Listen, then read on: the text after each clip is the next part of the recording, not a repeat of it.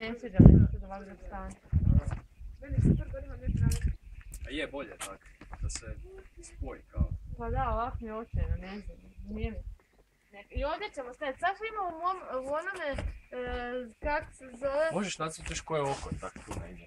Ko stavi misliš Pa da, se- Ja nešto neću moći s sprejevima, a ovo se Nek te bude sretan. Jedino mogu. Sretan dan. Ja ne znam, nije Znaš šta mi, da. ovaj materijal. Ana Marija, ostaje malo još za pijenu. Može? Produžiti, ali ne znam gdje je beta negdje od Evo ga, tamo dolazi.